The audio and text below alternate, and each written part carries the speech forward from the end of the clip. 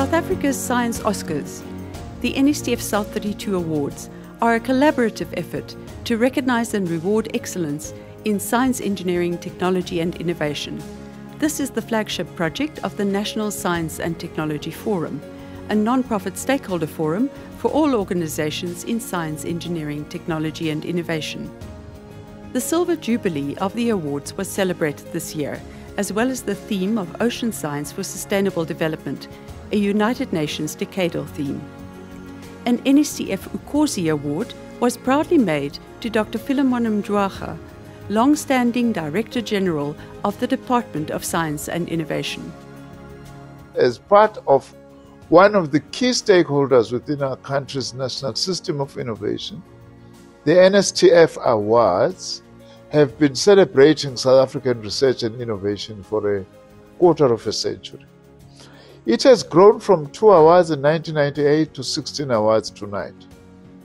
Almost 300 outstanding researchers, innovators, teams, and organizations have been awarded throughout the years. By all accounts, this is a phenomenal growth over the past two decades and something I believe is deserving of our congratulations. There is general agreement among scientists, business leaders, and public policymakers that science and innovation are more important to South Africa and the world than ever before. To find greater resonance and value outside the scientific community, science and technology needs to be seen to be solving some of the most pressing, urgent social challenges that ordinary human beings are grappling with on a day to day basis. This is even more important for developing countries. The NSTF Awards are important in a number of respects.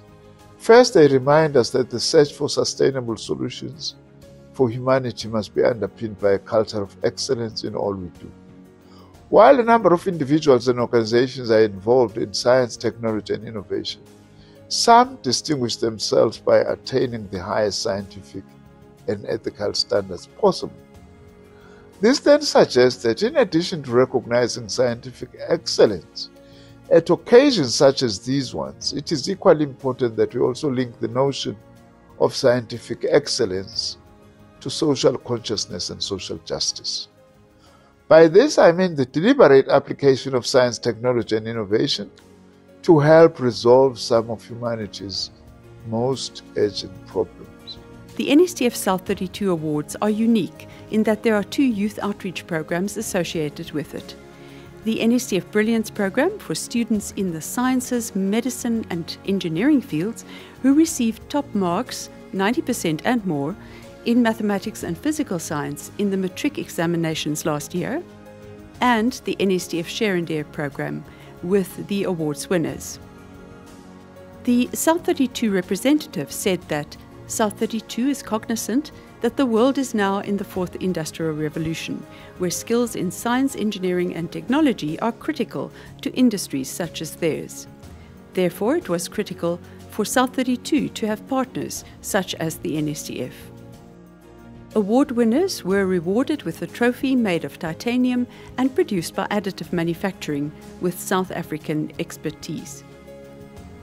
The NSTF is grateful for the support of the community at large and the partners and sponsors, namely South 32, DSI, category sponsors Eskom, NIPMO, and the Water Research Commission, and our new sponsors, the SA Medical Research Council, and the Technology Innovation Agency, TIA.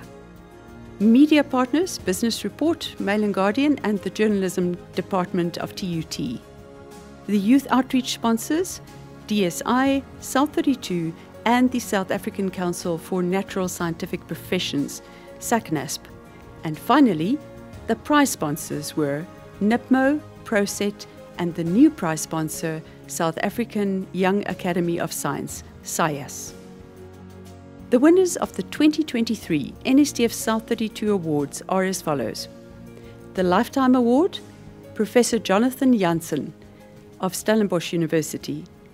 The T.W. Kambule NSTF Researcher Award went to Professor Novel Chegou, Stellenbosch University. The two T.W. Kambule NSTF Emerging Researcher Awards went to Prof. Usisipho Feleni of UNISA and Dr. Daniel Hart at the University of Pretoria. The Management Award went to Professor Paxie Chirwa from University of Pretoria.